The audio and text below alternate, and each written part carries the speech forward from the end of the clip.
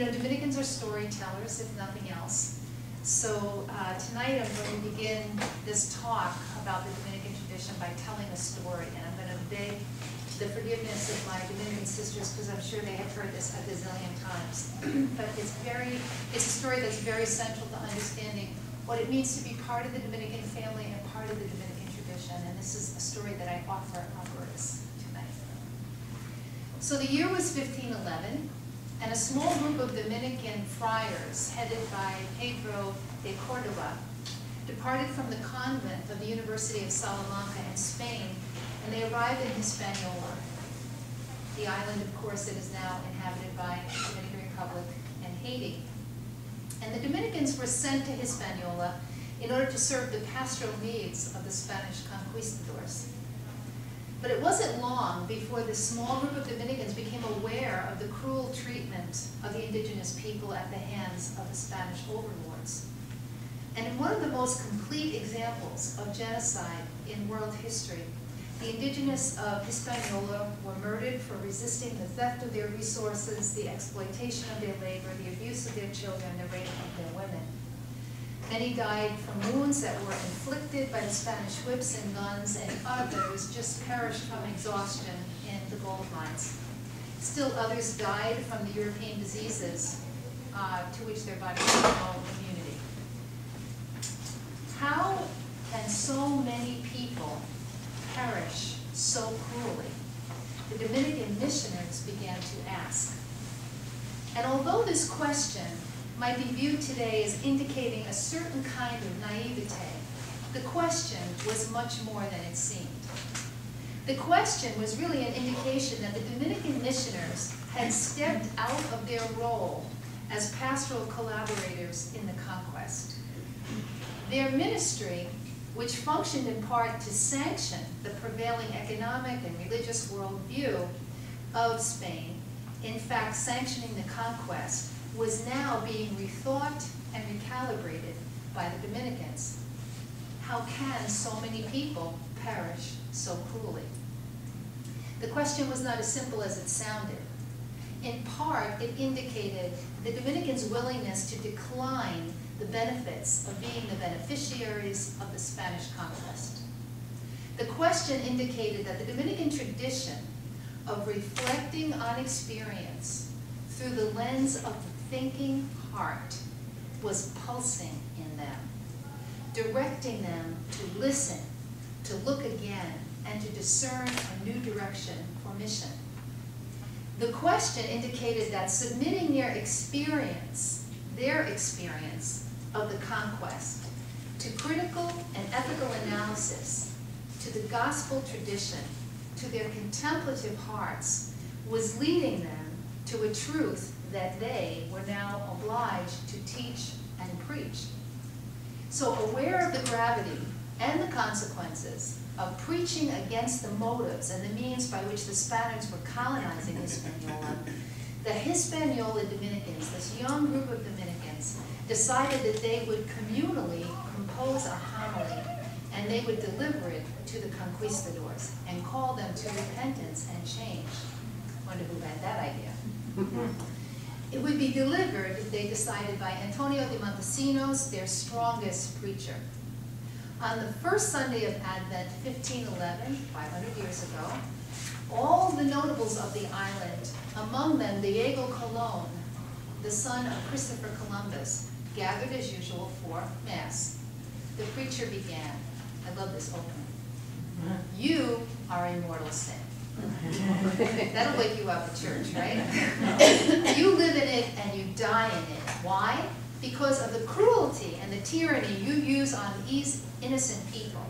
On what authority have you waged such detestable wars on them in their peaceful lands? How is it that you hold them so crushed and exhausted, giving them nothing to eat or any treatment for the diseases that you inflict on them yourselves? Are they not human beings? Have they not rational souls? Are you not obliged to love them as you love yourself? Do you understand this? Know this for certain. Given the state you're in, you cannot be saved.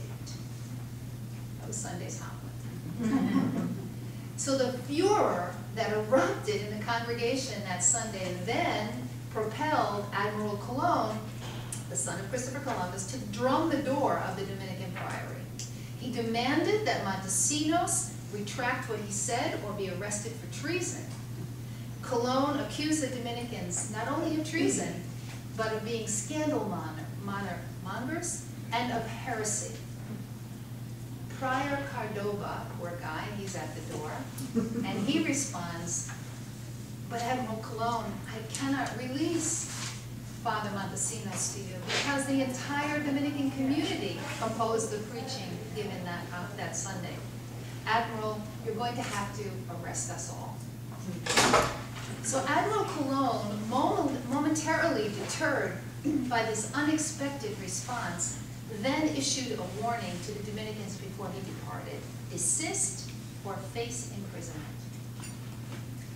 The next Sunday, in an atmosphere of great tension, the conquistadors and families gathered again at the Dominican house for Mass. The preacher, Montesinos, once again mounted the pulpit. Slowly and deliberately, he repeated the themes of the previous week's preaching. However, in the Dominicans' ongoing reflection on the cruelty and oppression they were witnessing, the Dominican community of Hispaniola were moved to take another step toward inviting the Spanish to conversion. At the conclusion of this second homily, Montesinos warned that the Dominicans would deny the sacraments and absolution to the Spanish colonists if they persisted in their disrespectful regard and violent treatment of the native people of Hispaniola. Now because this past Sunday, fourth, first Sunday of Advent 2011, marked the 500th anniversary of the Hispaniola homily, you may have heard this homily preached more than once and certainly subjected to exegesis a few times. Although you might be familiar with the dynamics surrounding the communal effort to write the Hispaniola homily and the selection of the preacher, Antonio de Montesinos, what might not be as well known is how the missioners, how their experience in Hispaniola became the content of the research and the debates that were underway at the Dominican University in Salamanca, Spain. This part of the story, I think, is really the ground where the interrelatedness, the possibilities, the collaborative nature of Dominican apostolic mission and the, their experience of ministering within the social context of their day, whatever day that is, and the rigorous study and ethical reflection upon it illuminates some of the most critical dimensions of the Dominican mission. Critical engagement with and study of the signs of the times in the light of the gospel and Catholic social teaching. Francisco de Vitoria, a Dominican professor specializing in what we would call today political theology, was intensely engaged with the most contested issues of the day. So he's in Spain, and he's their teacher. They came from him to the colony. He was dealing with the issues, the contested issues of the day of the powers of the Pope, the right and wrong methods of spreading the Christian faith, and the rights of the newly, quote, discovered people to possess their own land and to govern themselves. Victoria's study in Spain of Spain's conquest thousands of miles away led him to challenge Spain's actions towards the communities of non-Christian indigenous people in the Spanish courts and, and debate halls of the university. He became the advocate of the indigenous. He challenged the propaganda that they posed a threat to the Spanish monarchy and to Christendom. In the process of his study of these issues, Vitoria was moved to dismiss the popular claim that the Pope and the European monarchs had the right to create the encomienda system, a policy through which the conquistadors had sovereignty over the indigenous lands. Vitoria argued the rights of the indigenous to their land. In court, the scholar Dominican challenged Spain's claims that the lands were uninhabited. Simply stating the obvious, Victoria retorted the lands were not inhabited, indigenous people lived there. In his assessment, of the church's complicity in the conquest, Victoria concluded the Pope had no authority to promote Christianity at gunpoint or to bless the endeavor of conquest. Pretty brave, right? Like Christ, Victoria argued, the Pope has no temporal power over the indigenous or any other unbeliever. Furthermore, Victoria took the then radical view that the Pope and the Church should have no direct influence in the questions of who should assume state leadership. You have to remember this as, as we approach our own elections. Keep that in mind. The legal and the scholarly positions of Victoria about the rights of the indigenous were derived from Victoria's understanding of natural law and his conclusions that the law of nature became a public law that, that regulated relations between territories. Eventually, it became known as international law. It applied to the conduct and grounds for war as well. Incredible, right? 1511. With this formula, Victoria signaled the end of political universalism of the Middle Ages, and he denied the superior right of Christian princes to conquer and rule over remote so-called heathen people by virtue of the latter's religious errors. Victoria's scholarship and successful legal arguments led to policies designed to end the encomienda system of land seizure by colonists in the so-called New World.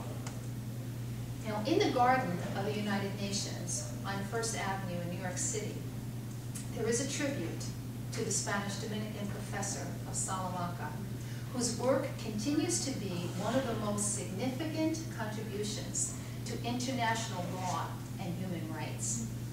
Under a bronze bust of the Dominican preacher are these words, Francisco de Vitoria, OP, founder of international law and human rights. For all of us, members of the contemporary Dominican family, there is much to harvest from the rich deposit of tradition found in the story of the Hispaniola homily and the advocacy for justice that inspired it. I have chose to begin this reflection on teaching, learning, and engaging the Dominican mission in a complex world with the story of the homily because as a Dominican teacher and preacher and justice promoter, I believe the homily contains some of the most critical components of Dominican tradition, mission, and identity. I have selected three of these components to share in this reflection. And as we unpack these elements of Dominican tradition a bit more, I hope you see in them some of that which distinguishes the teaching and learning of a college or university that is rooted in the Dominican tradition. Three aspects of the Dominican tradition, mission, and identity amplified in the homily are the Dominican commitments to upholding human rights and human dignity, the Dominican commitment to sustainable and ethical social, economic, and environmental development, and the Dominican commitment to peace building. These are just three that I'm lifting up. First, let's look at the first one, human dignity and rights. For Dominicans, the incarnation event is one of the most essential truths confirming that God dwells within us, with us, and that we dwell in God. This is true for everyone who lives, moves, and has being. In everyone and everything that is created, God is. Therefore, all is good, all has beauty, all deserves dignity and rights because all is created by God and God is in. This truth that God is in us and with us is not just a consolation, but a commitment visible in Dominican contemplation and in Dominican mission. Because we are called to live, teach, preach the truth, Dominicans are promoters and protectors of the beauty, respect, and dignity that are the inalienable rights of all life. Because we are all of God and we are all in God, Dominicans preach the truth creation's intrinsic relatedness. As the science of the origins and the growth of the cosmos reveal, and I know that the freshmen, I think, study that, right, in their insight program here, the Creator's design for our world is relationship. That's the design. And as Francisco de Vitoria confirmed, there is in creation, this was his argument in the courts, this was his logic in the courts of Spain, this was his logic in, in, in the classroom. There is in creation an irrevocable bond of relationship between all things. Relatedness is intrinsic to Dominican spirituality, identity, and our worldview. And relatedness is visible in Dominican mission through acts of compassion, advocacy, and solidarity. Because of our conviction of intrinsic relatedness, Dominicans, more often than not, refer to our order as a family. By calling ourselves a family, we're witnessing and preaching the truth that God's creative design for all human beings, all beings, is relatedness, is family. For me, one of the 20th century literature's most poignant discourses about this profound ontological and theological truth comes from Alice Walker's memorable character, Shug Avery. In Walker's book, The Color Purple, Shug says to Celie, I believe God is in everything. Everything that is or ever was or ever will be. And when you can feel that and be happy that you, that you have found it, well, that's great. My first step from the old white man was trees, then air, then birds, then other people.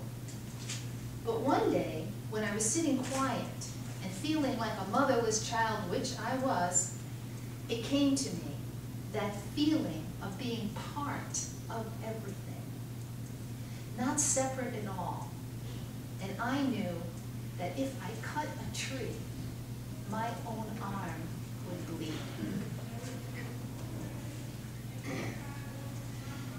Although the Creator's design for the world is right relationship, a virulent and recurrent challenge to the truth of creation's relatedness is one of the most insidious heresies reappearing in various forms throughout history. The heresy of dualism. The worldview that perceives creation is intrinsically flawed, separate, disassociated, disordered, and alienated from God. 12th century European society was populated by persons who believed themselves and their lives to be evil, sinful, and fated for eternal damnation. It was in this context that the founder of the Dominican order, Dominic Guzman, picked up his ministry in relationship to this heresy of dualism. Some outcomes of this worldview that perceive the human person as being so basically so evil included infanticide and suicide. Ostracisms and death could be the fate of those who challenge this popular stream of religious belief and cultural understanding. The whole of southern France was filled with the Cathars and the Albigensi, and it became a part of the cultural fabric, you know, of the land. Dominic's persuasive preaching of God's intimate presence within and with the human person and with all of the creation was a powerful rebuttal to the logic of the heresy of dualism. Moreover, his compassion, his respect, his affection for victims as well as perpetrators of the heresy were genuine and equally effective witness. Unlike the clerics of his day, he did not perceive Dominican religious life as being separate from people, but in fact as dwelling with and among people the social and dealing with the same social realities that they were of the day. His mission was successful, and the first to join the Dominican family were women converts from the heresy. Some people say that that tradition of having women heretics in the order has persisted into the 21st century. anyway, disavowing the heresy, which organized, this women who stepped out of the heresy, people who, who sort of disavowed themselves of it, that action had consequences had severe social consequences for them. Particularly for women, they needed a community. Once they left this culture, they needed a community with which to grow and live into their new understanding, and they also needed the protection of a new family as they experienced banishment and the threat of deaths, even from their own family of origin. So that's how the Dominican order really began in response to the heresy of dualism, and the Dominican community was really conceived initially as a place where those who were stepping out of this dominant worldview could experience community and family and relatedness. Because leaving this family of origin, leaving this other culture, leaving this way of life had consequences. And people could be very easily isolated and, in fact, hurt. Now, following Dominic's footprints, uh, but on a slightly different pathway, was the scholar Thomas Aquinas. Also tangled with dualism as he studied and critiqued the philosophy of Plato. And he was influenced, of course, by his teacher, Albertus Magnus, from whom the college was named. And Thomas's disciplined study and his extraordinarily uh, talented intellectual capacities led Thomas to reject, in his time, the Platonic worldview that really organized all the logic and the thinking and the study and you know how we conceived of, of life. And instead, Thomas began to say that both matter and spirit, they are not separated as in the dualistic worldview, but in fact are connected in human person, that we're integrated, that we're one. And Thomas asserted that it was by reason of the unity of our matter, of matter and spirit, that it is through this unity of flesh and spirit that human beings know God. That it's not just a matter of our spiritual ascent of our bodies or the spiritual ascent of the world around us, but in fact it's a matter of our being in touch with reality, creation, friendship, sustainable, ethical, economic development. It's ever more important. Growing global and national disparities in wealth and in wages and in earned income are increasingly related to questionable economic ideologies, policies, and systems. We are increasingly aware that today's economic strategies continue to present significant threats to human and planetary thriving. Some have described the dynamics of the contemporary economic development model as the manifestation of the Bangkok, bankocracy of the new, the neo-colonial era. So let's look, take a look quickly at the reality of global disparities. You've probably seen these numbers before. Today, 51% of the world's assets owned by 2% of the world's population. Over 50% of the population lives on less than $2 a day. And in the United States, 75% of the wealth is probably contained within 10% of the folks, and the top 1% of those folks manage quite a bit of it. So the, the net worth, uh, net worth of U.S. top 1% is $21.9 trillion, more wealth than is shared by the bottom 99% of the population. So in terms of the U.S., 50.1% uh, of the U.S. population lives under the poverty line. The poverty rate of persons who are black is close to double, remember the dualism, is close to double that of persons who are white. In 2010, black and Hispanic families earned a near 57 cents every dollar that was earned by whites. Well, who bears the burden of these disparities? Increasing percentages of the general population bear the burden, but dispro uh, disproportionately represented within this group are people of color and children. Now, in terms of disparities within the state of Connecticut, despite you guys having the fourth highest rate of income in the United States, Last year, Connecticut was second only to Nevada in the nation's rate of household income decline. Almost 10% of the people of the state of Connecticut live in poverty. 23% of those who are in poverty are Hispanic, 22 are black, about 6% are white. 12.1% is your state rate of uh, child poverty. However, there are cities within your state where this is child poverty is disproportionately represented. Hartford is quite honestly shocking thirty-nine percent. Windham, not sure where that is, but that's twenty, almost twenty-five percent. Uh, East Haven, New Haven, Norwalk, East Haven, this is your background, your backyards, right, fifteen percent child poverty. And as this wasn't enough to consider, the victims of economic injustice in our own country are further imperiled by the fact that every time we have an economic downturn, we have, these downturns have a very distressful impact on social, political policies and programs that have been engineered to protect the vulnerable. So while these rates are rising, the programs are actually being gutted, as we know. So at a time when they're most needed, they're not available. So how do we understand these global and national economic disparities, and how do we assess them in the light of the gospel and Catholic social tradition and Dominican tradition? The Catholic Church's response to the forces shaping the global economy and disparities has been notable. For instance, the center of concern, and as much as, know, we could say, what is the church doing about this? Actually, the church has a lot of great stuff to say about these issues. The Center of Concern is our Catholic think tank in Washington DC, where Jesuits and Dominicans work together happily and in peace. and um, the Dominican, Maria Riley, who's absolutely brilliant, has um, really created um, a paper called, it's been on NPR, she's been interviewed all over, which is her revisioning of what an economy of right relatedness would look like. She's, she's just really brilliant. Um, so, anyway, worth reading, it's on your website. I would say Catholic Relief Services, another Catholic agency. We are an international relief and development agency. We work over 100 uh, countries. And we're providing some excellent resources for the university students to kind of engage in these issues, these global issues, in ways that will help them not only know about them, but to use their significant advocacy in ways that help affect policy change. So we're not, knowing is not enough. We're trying to get the students to actually take steps forward. And we have some resources, and I shared them with some of the faculty today. Network, if you don't belong, you should belong to Network, the National Catholic social justice lobby, sometimes it's called the nuns lobby, but everybody can belong to it.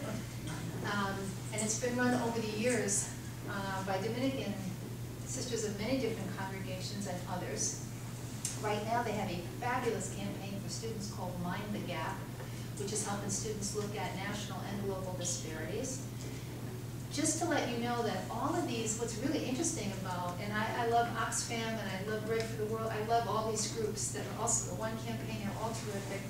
But what's really great is that these wonderful social justice organizations are all looking through the lens of Catholic social teaching at these contemporary issues. So students are sort of getting it by osmosis, you know, as they're engaging with it. They get, they get to see Catholic uh, social teaching engaged in very significant ways.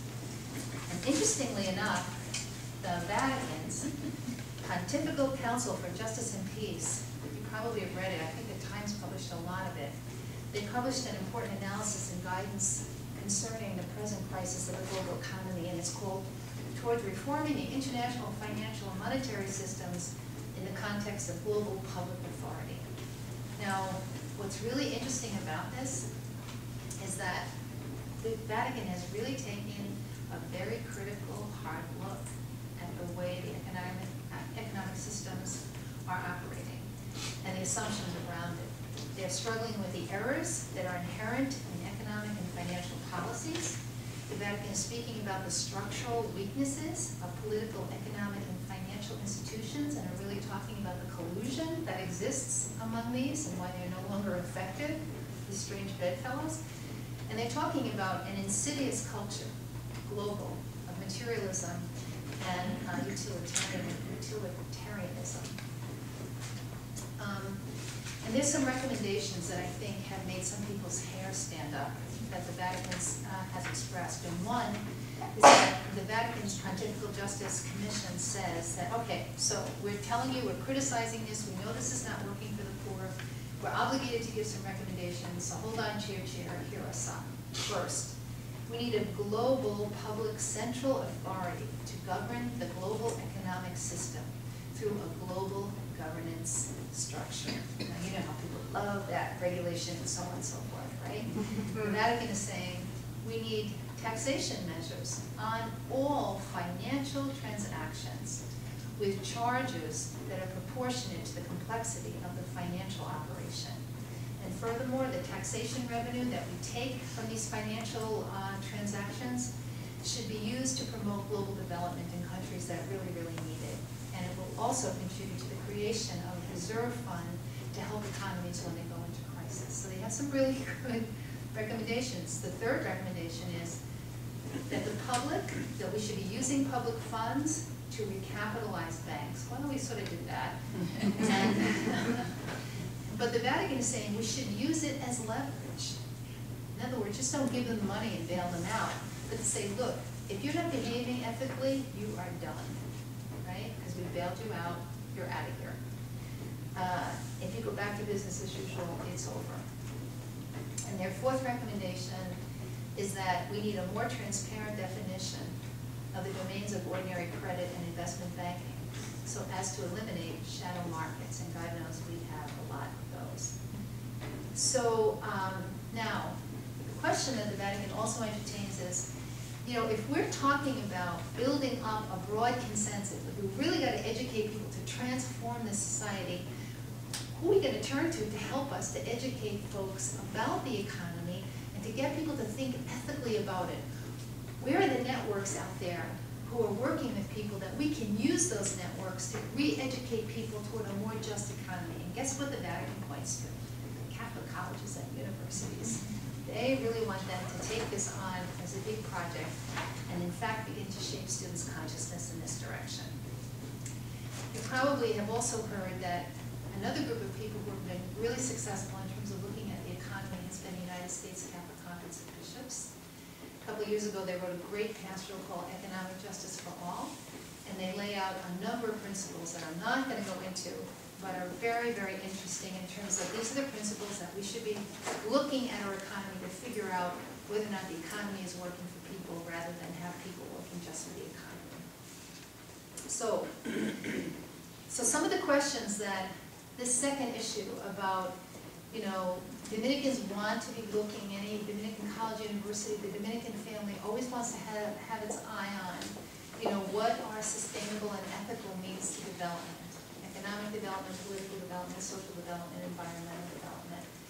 So the question for us is, how are we, members of this university community, shaped by Dominican and Catholic social teaching traditions, nurturing the development of students and teachers who will participate in the creation of economic systems which promote the thriving of the human person, global and national development. So this is a question for the president and for the dean, right? To really say, well, you know, we need to engage the social issues of the day. We're a Dominican school, and this is our tradition, just as in the Hispaniola homily.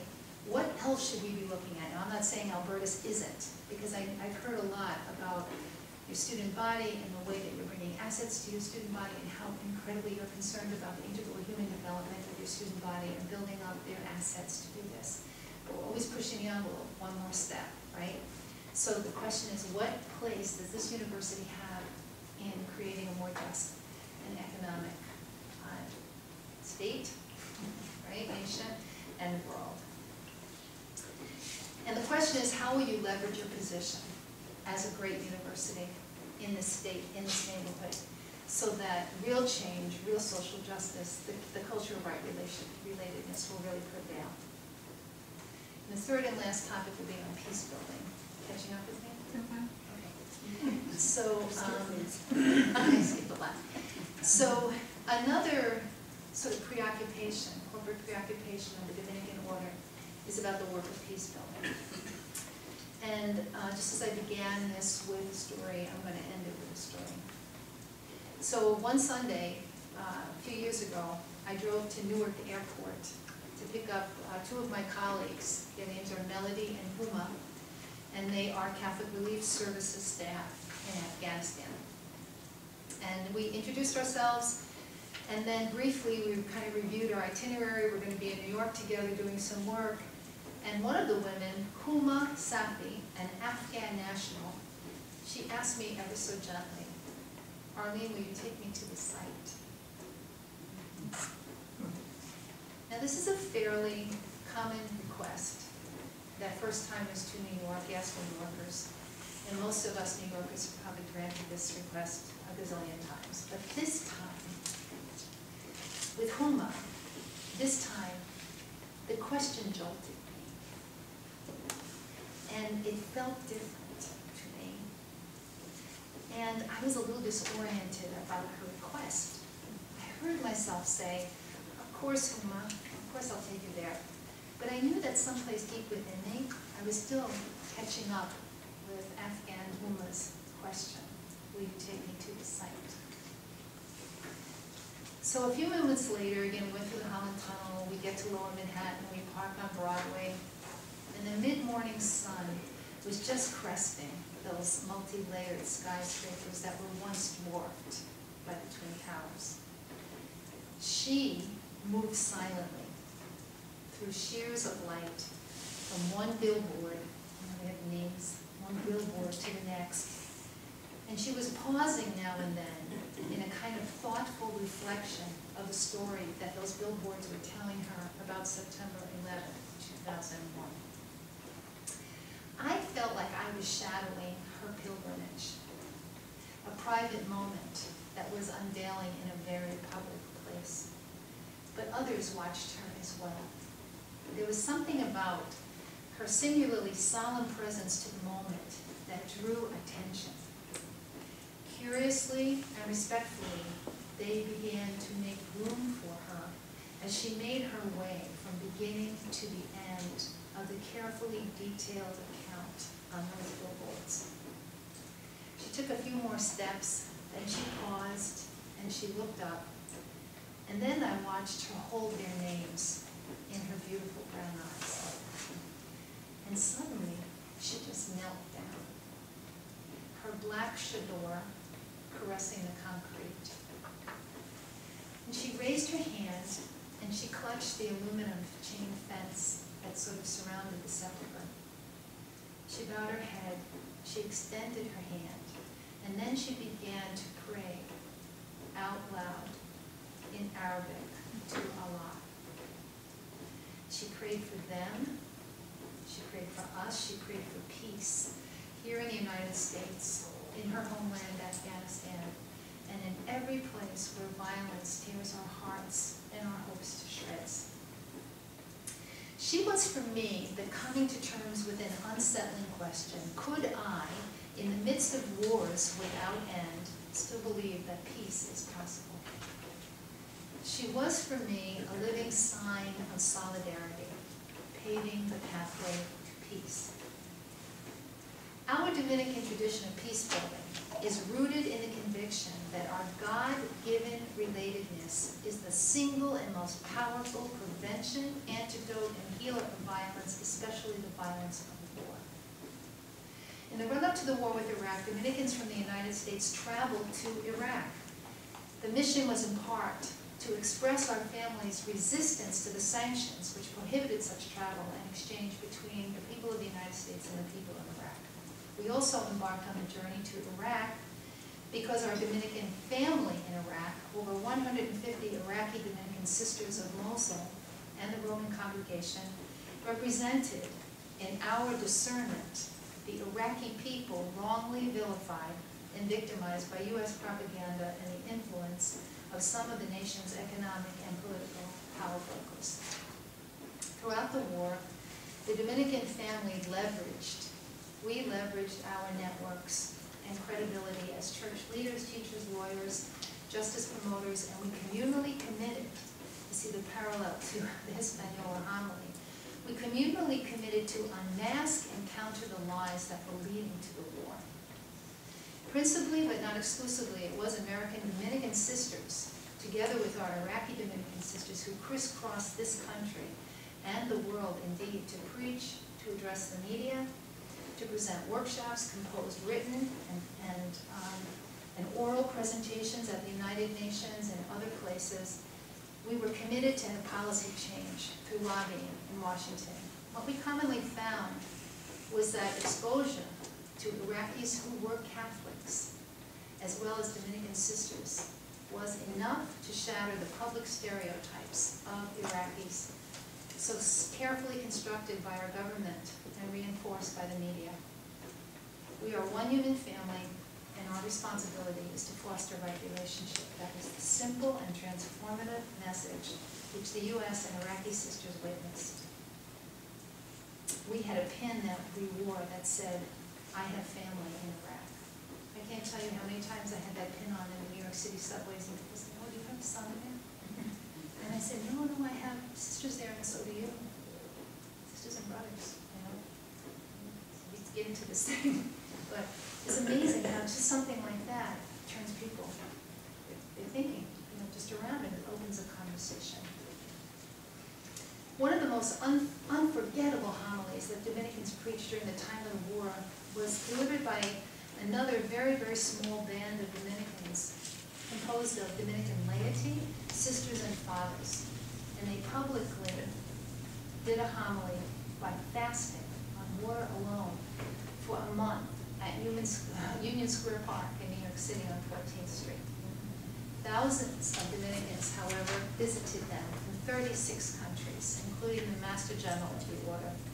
Dominicans sat with them all the time, joined them in prayer and fasting for a halt to the war. And thousands of travelers, if you've been to 14th Street, you know it's a crossroads, sort of in Manhattan, were impacted by the presence of these Dominicans and students from NYU and nearby Columbia and universities, as well as artists and social activists, business people of all stripes, as well as the homeless, were also with those Dominicans and found in them a holy preaching for peace. The Dominican presence standing in solidarity for peace at the entrance of the Union Square subway stop was, in the words of one of our Iraqi Dominican sisters, the only ray of hope penetrating those dark days of war. Now, while truth uh, withdrawal signals the war's ends, and for most Americans, the fact is that the war is not over. It's, it might be over for us, but not over for the Iraqi refugees, for example, who are displaced within the country and also within the neighboring war-torn lands of Syria, Egypt, Jordan, and Lebanon. American Dominicans have also been traveling to these cities in the Middle East where Iraqis linger in limbo. Together with our Iraqi sisters whose own families are among the 2.5 million Iraqis who are displaced, the focus of Dominican peace-building work continues. Today, Dominicans are engaged in ongoing efforts to grow awareness about the plight of the Iraqi refugees while lobbying and advocating for Iraqi refugee resettlement policies in the United States that actualize our government's responsibility towards these casualties of our war. Of course, the other victims of war are those wounded warriors that are now returning from the battlefield to face another battle here at home. And perhaps Albertus Magnus will be among those schools where these men and women, veterans, will use their hard-earned benefits. And perhaps it will be here where they will carve with the tools of study and the gift of your compassionate care, a promising future and a pathway to peace. As we strive to integrate the Dominican mission of peace building into our lives and work at Albertus Magnus College, let us consider questions such as these. How do we, as members of a Dominican college, engage our students in a critical ethical reflection on the wars just waged in Iraq and Afghanistan? Where and how does the heresy of dualism exist for them in the logic of these wars? What can students learn from this kind of study that will sharpen their understanding, enrich their wisdom, and build their capacity to be promoters of peace, healers of wounds, restorers of right relationship? How can so many people perish so cruelly? This was the question asked by a Dominican community reflecting on the casualties of violence in the dawning days of the 16th century. What will be the impact of this question on these dawning days of the 21st century, and what will be the response? How can the spirit of Dominican tradition, evident in the Hispaniola homily, become so evident in the university classroom, the boardroom, the athletic and student centers?